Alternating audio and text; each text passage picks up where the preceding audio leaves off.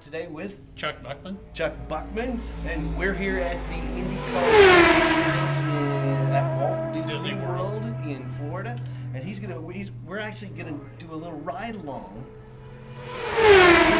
Yes. Really? Yes. A real IndyCar. A real IndyCar. Okay. Uh, so, all right, let's talk about the IndyCars. Now, there's IndyCars, there's NASCARs, there's all kinds of different things. What?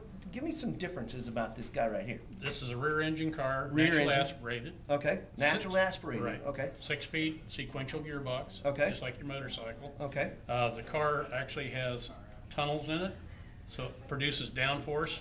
That's what we're talking about Yeah. today. This uh, this area here is restricted now. They've taken a lot of tunnel out since the early '90s. Really? Uh, Why? just slow the cars down. Oh, that's no fun. Yeah, but they uh, they took a lot away. So these cars in this trim, as you see it right here, this is what you would run at the speedway. Okay. So what they've done is they've taken that away. They put a reverse wicker on the bottom side of the wing.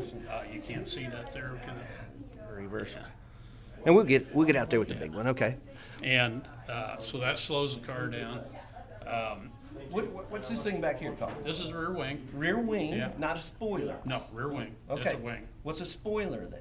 That's the stock car. Okay. The, the blade that sticks up in the trunk of the stock car. That's, a spoiler. yeah. That, that spoils the air, Right. basically. Produces downforce, but also produces drag. Drag. Okay. So that's what we're talking about today. The thing coming up in the back here. Now, what's the wing do for an Indy car? It pushes down on the car. Okay. It'll make about a thousand pounds of downforce, Really? just the rear wing. And to balance that, you take the front wing, change the angle, and add wicker bills. These are adjustable. This is not. Okay. This is fixed. You have to unbolt it, and you can run it negative. You know, the back of the wing down. So you fly? Well, it won't fly, but it'll go a little faster. But it produces very little downforce. Less downforce. Okay. So you can't race it that way. You can qualify that way. Now, let me ask you this about this. The airflow here, we're talking about aerodynamics today, basically. We got the wing up front, we got the airflow. Why, did, why doesn't, why don't we have a cockpit over here to smooth the air It's out? not legal. It's part of the rules that you can't have an enclosed driver. The Oh. driver has to be available to get out of the car easily. Oh, okay, so, so it's safety. He's safe. Excellent, okay. So, but if we did have that cockpit closed off, aerodynamics would be better, wouldn't it? Yes. Because the air is not gonna hit him in the face and go down into the Actually, they, or- they see very little air. The air actually comes off this windscreen and goes into the inlet scoop and over the top of the car.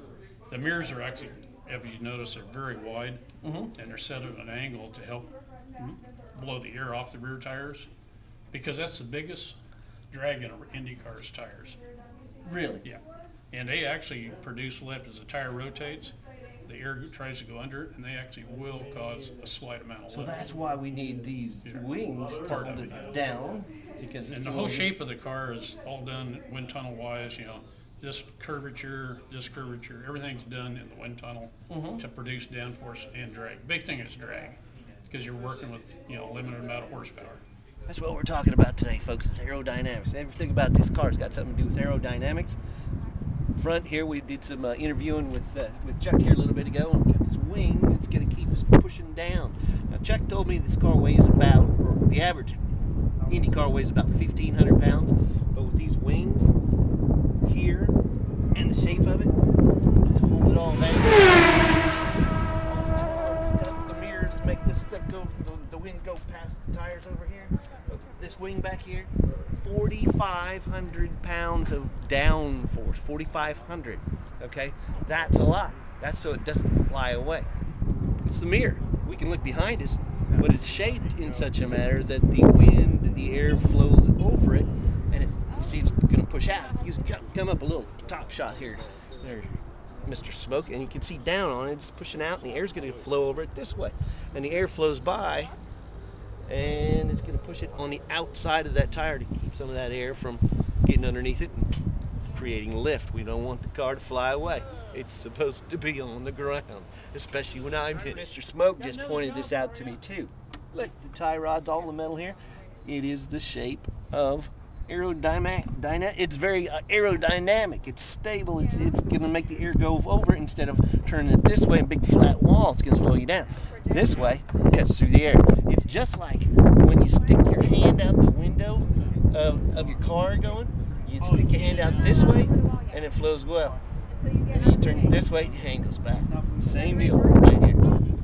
Car just got back, and I heard Chuck say too. He was asking his driver, "Is the wind blowing you around any?" So he's worried about it. He's always thinking about the aerodynamics of this thing. That's what that's what the big thing is. Here. Here's Howie G getting strapped into the G machine. All right, yeah,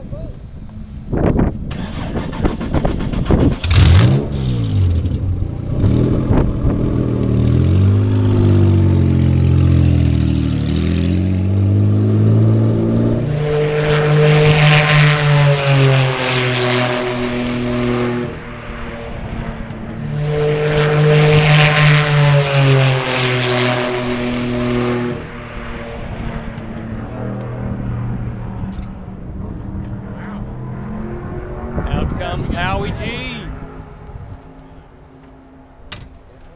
So how was the ride in the G machine? Tell you what, folks, uh, down in that cockpit, it was very cool. G forces that way. How many G's we pulling, Derek? Two or three? Two or three side side force. That'll probably wear on your neck after a little bit. Raise